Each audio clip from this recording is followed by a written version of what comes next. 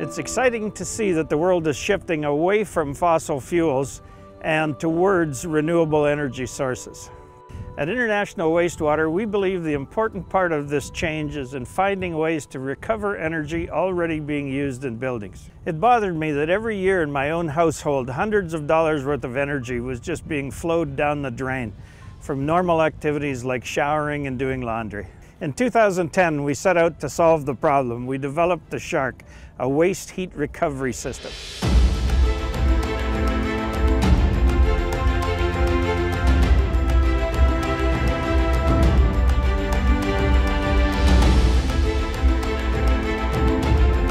Thermal energy is consistently poured down our drains. Showering, dishwashing, and laundry are just a few examples of the hot wastewater that is discarded each day. Why not reuse this energy? So first we capture the wastewater and store it temporarily in an on-site tank. In many situations where direct access to city main or a wastewater treatment plant, a storage tank isn't necessary. Next, this water is pumped from the storage tank through the SHARC system where the solids are macerated and then temporarily separated by our patented SHARC technology.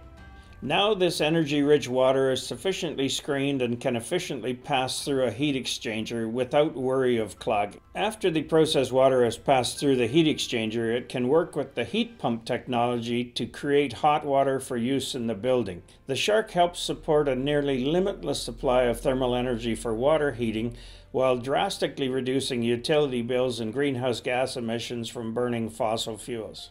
Once the energy is pulled from the dirty water, the now colder wastewater joins the separated solids and continues its way down the sewer system.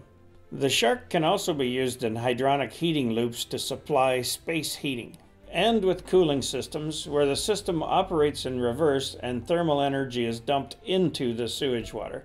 This is a great alternative to air conditioning cooling towers, where the SHARC can not only reduce energy costs, but also water consumption. We have now installed SHARC systems across North America, and our proven technology has solidified our position as the world leader in waste heat recovery systems.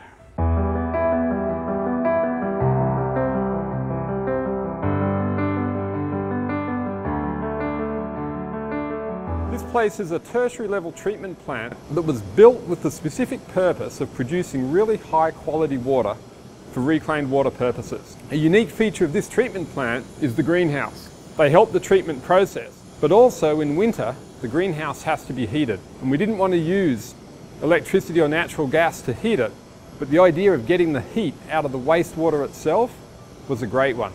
So the SHARC system is able to provide the space heating for the greenhouse and all the office areas of the building. We expect our actual uh, outside energy use of electricity for heating will be about one quarter of what it would otherwise be if we had to do this in the normal way.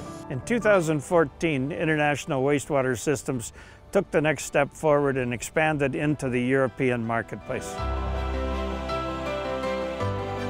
The European Union offers a major opportunity for SHARC Technology to uh, scale and deploy its technology.